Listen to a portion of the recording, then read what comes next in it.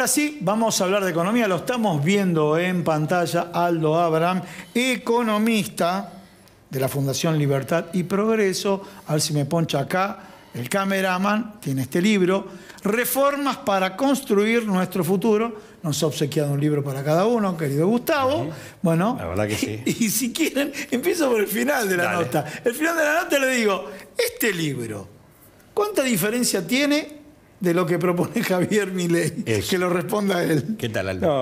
No, un gusto estar con ustedes. La verdad que no mucho porque lo hemos trabajado con sus equipos, ¿no? En- Así que en líneas generales, de hecho, eh, ha habido algunos que han formado parte de nuestros, de los que hicieron ese libro, han formado parte de los equipos también de Javier Milei. Hemos colaborado en realidad con todos los equipos de todos los presidenciables, mientras fueron presidenciables hasta Claro. que, bueno, se fue achicando la cantidad de presidenciables hasta que quedamos trabajando con Javier Milei ya en vistas a lo que fue el balotaje, ¿no? Y bueno, este, trabajamos estos, estos temas que están en el libro. Bueno, viste que se habla mucho de la B corta. Exacto. Pero, la B corta no con como lo puede interpretar el peronismo o cualquier triunfador en el mundo de una carrera, sino la B corta de la economía que cae y que puede rebotar. ¿Quién mejor que él que nos explique si realmente es una quimera o es una realidad? Mira, claramente vamos a tener un motorcito de reactivación cuando se levante la cosecha ahora en el segundo trimestre, que se espera que sea buena, no récord, ¿no? Este, como se esperaba antes, pero que sea buena. Pero el problema acá es que necesitamos algunas otras señales para que sea fuerte esa reactivación. Acá lo que hay que entender para ello es qué es lo que, en definitiva, generó esta recesión profunda. ¿no? Y lo que generó esta recesión profunda que es heredada, claramente es que la gente veía que por el rumbo en el que iba el anterior gobierno íbamos a una catástrofe, íbamos a una hiper, íbamos a una un- iba a volar por los aires la economía. Y si vos pensás así en la Argentina, lo que haces es consumís menos, invertís menos, agarrás eso que ahorraste, lo pones en dólares y lo mandás al fondo del placar, a una caja de seguridad. Si tenés capacidad de ahorro, lo mandás afuera. Pero lo que haces es dejar de consumir y de invertir para tener un respaldo en caso de que esa catástrofe venga, ¿no? Y poder de esa forma más o menos salvar a tu familia.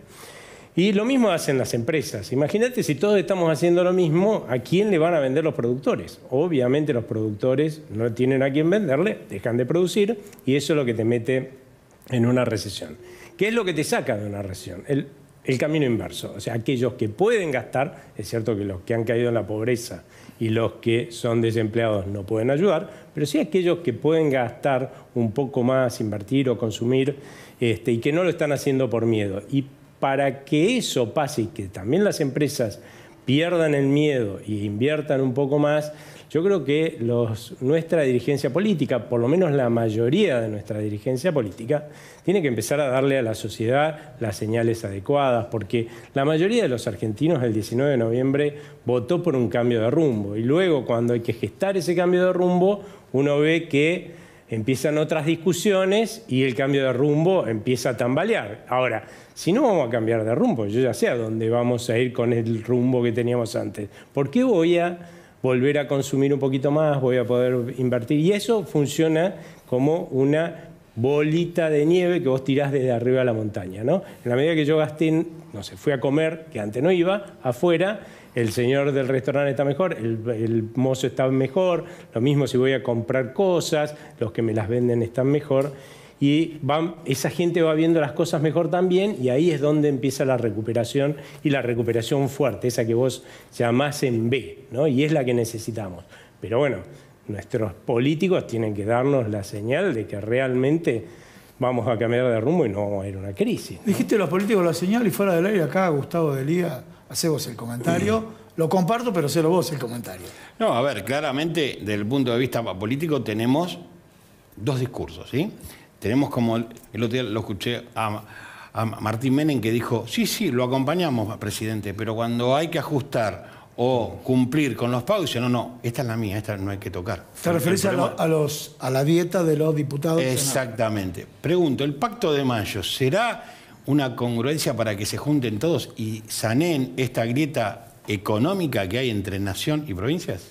Espero que así sea, ¿no? Porque lo que vimos en el Congreso realmente eh, fue a contramano, ¿no? Y acá lo que hay que entender es que por qué nadie, aún los que prometieron hacer esto antes, eh, hizo estas reformas que se están proponiendo. Y fundamentalmente porque hay que pagar costos políticos. ¿Y qué costos políticos?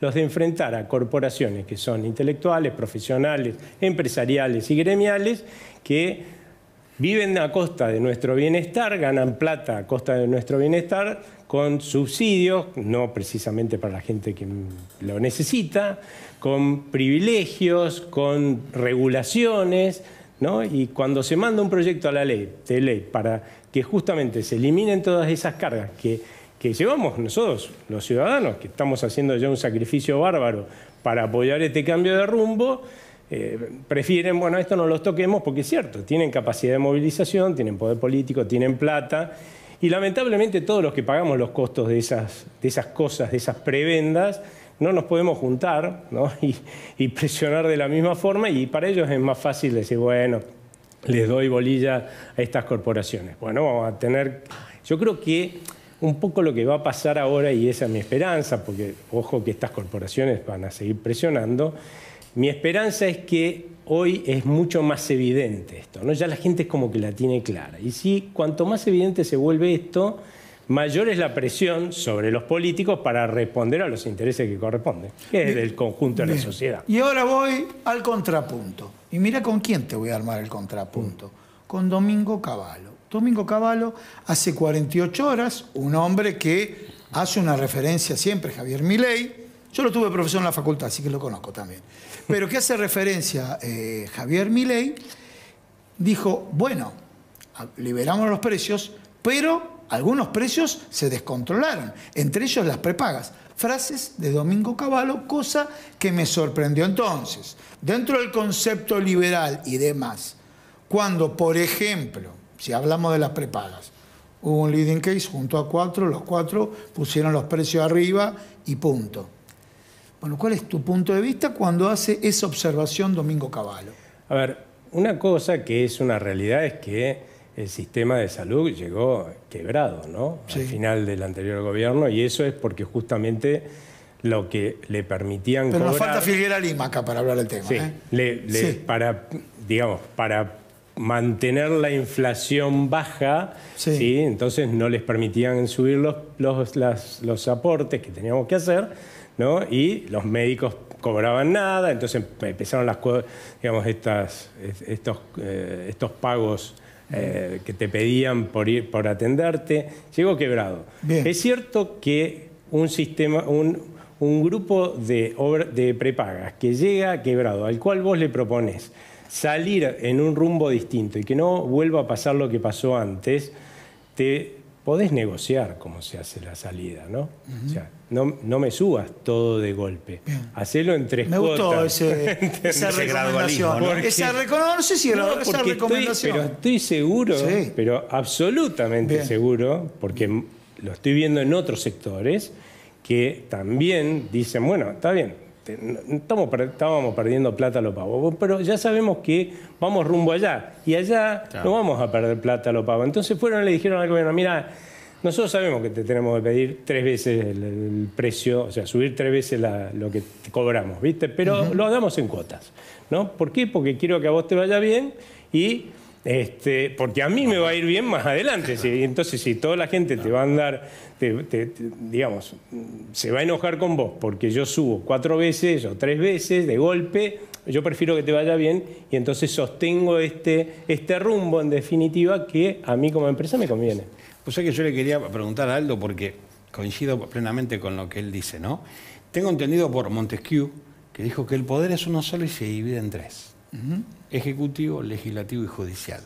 Ahora, me entero que eh, firmaron un aumento del 30% y dijeron subimos los sueldos de la dieta en el Congreso.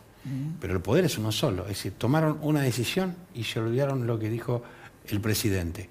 ¿Cómo ves este choque o esta colisión de ideas en, en lo que respecta al poder? Sí, lamentable, no, lamentablemente no. Por suerte vivimos en una república que, lo cual a veces tiene su costo. ¿no? Los poderes son independientes, deberían controlarse, deberían por lo menos ser independientes, ¿sí? y controlarse entre ellos, que no se extralimiten en el uso de, esas, de ese poder que les hemos delegado a los ciudadanos y que de esa forma evitemos que ellos lo usen para violar los derechos de los propios ciudadanos. ¿no?